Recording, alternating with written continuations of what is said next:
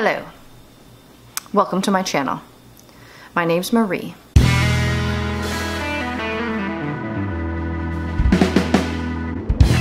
Let's do a quick showdown of eye gels.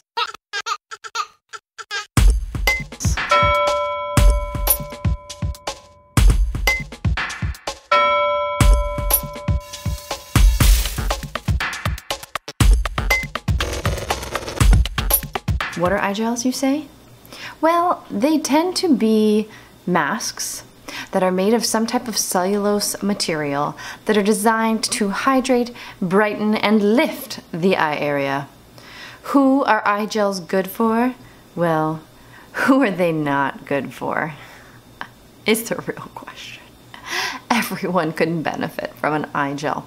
Start a new job, you need eye gels. Have a new baby, eye gels. Caring for an ailing parent, eye gels. Mm, stressed over a breakup, eye gels. Uh, Want to relax and look your best, eye gels. All right, let's jump into two of the eye gels on the market in the green beauty sector and um, compare, contrast, and discuss. So first up, I have a little makeup on. Let's take a baby wipe and show you what we're working with.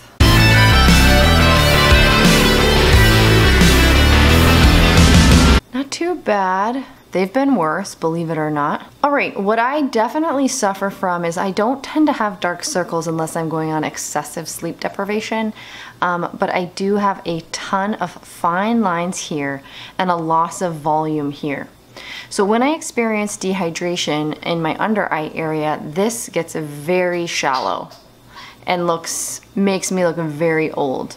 And then these fine lines from all this squinting, laughing, surfing, um, well, they're, they're ever more prominent when my skin is dehydrated.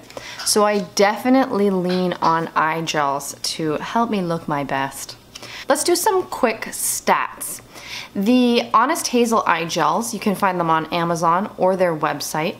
There's a three pack uh, that goes for $14, making them about 460 per pack. Now, 100% pure, you can find these on Pharmaca and they generally tend to be 15% off, making them a five pack for $25.50. However, you may not know this, but on Pharmaca you can double coupon and they usually have a 20% off coupon that you can apply to the $25.40, bringing the five pack down to $20.40, making each pack around $4. You're welcome. You can actually do that today with Wellness 20. All right, let's talk texture.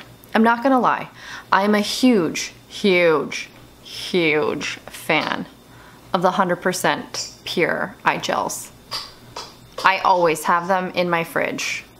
Now, I apply them a little differently than most people because this is an area that I'm really trying to hydrate out here and this area right here, I really like to kind of get in there because this area, that pocket I mentioned is where I tend to look really dehydrated. So that application actually works really well for me to attack all these fine lines that I have here. But like I said, they're a little thicker than you would think. They smell beautifully of green tea. Now, this will be my first time applying the Honest Hazel. I'm gonna warn you I may be a little bit biased. There's a couple other things we'll get into that um, don't have me convinced. All right, these are much thinner already in texture. They have a nice smell. They're a little more flimsy, um, but they feel nice. These obviously feel like they're gonna stay in place better because these are just a, have a slippier, slipperier texture to them. Now for both of these products on their website, they really don't give any um, extensive directions, meaning they don't tell you when to take them off. Um, that can be a problem because as I perused Amazon, I saw some reviews saying people got a really bad reaction to them. One girl in, in her description of the reaction said she left them on for hours. So um, a simple directions on their part might prevent people from that type of reaction. Generally, you don't want to leave a skincare product on for hours. Now, let's look at the ingredients lists. And kind of a red flag for me on the Honest Hazel site is that they don't give the um, scientific names for their ingredients, they give the common names. So they say vitamin C, but they don't tell you what kind. They say vitamin E, but they don't tell you what kind. They say hyaluronic acid and they say rose oil, glycerin. I mean, we're looking at some good ingredients. Um, we don't know if there's a preservative or not. We don't know what the mask is made of. That's not really readily apparent from the ingredients lists. Um, so that as a company kind of gives me a red flag. And it's interesting that they're being sold on Amazon. They're being touted by Goop. 11 thousand followers on Instagram, and yet there nobody's called them out on that ingredients list. Uh, it's interesting to me. Now, the 100% pure ingredients list is aloe, green tea, green coffee, sodium ascorbate, so that's vitamin C, caffeine, hyaluronic acid, plant cellulose, um, and they say their hydrogel masks are made mostly from aloe. So, you know, when we stack up the ingredients lists just based on that alone, 100% um, pure wins simply because it contains caffeine and green tea and vitamin C and hyaluronic acid. So we're working with a great ingredients list. And as far as I can see, we don't have any essential oils. Um, that was kind of one thing that made me a little bit skeptical about this, that it contains rose oil. I don't know. I, I just don't generally think that I want that around my eyes. I'm gonna go drink a little coffee and we'll check back in because proof's in the pudding, right? Which under eye area will look better?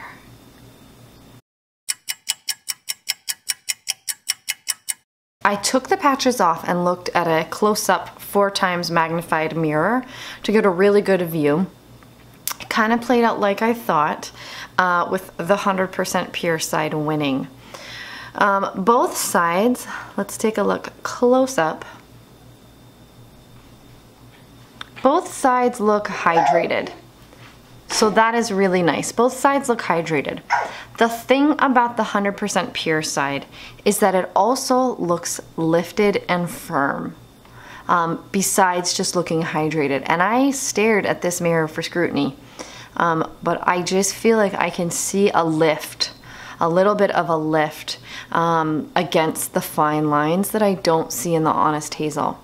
The other thing that I enjoy about using the 100% pure masks is that as I am leaving them on, this area starts to kind of decrease and almost start to evaporate. And um, usually that's because it's right in this crease where I told you I have volume loss and dehydration. And that's because it's, I feel like all that hydration is just getting packed into that little corner right there. So for me, easy, it's got to be the 100% pure. I did come into this a little bit biased simply because I've used this product so much. But as I researched this, um, the couple questionable reviews on Amazon of people having like serious burns around their eyes, on top of the fact that they don't list the scientific names, all play into this guy being the sheer winner. Yes, that feels better.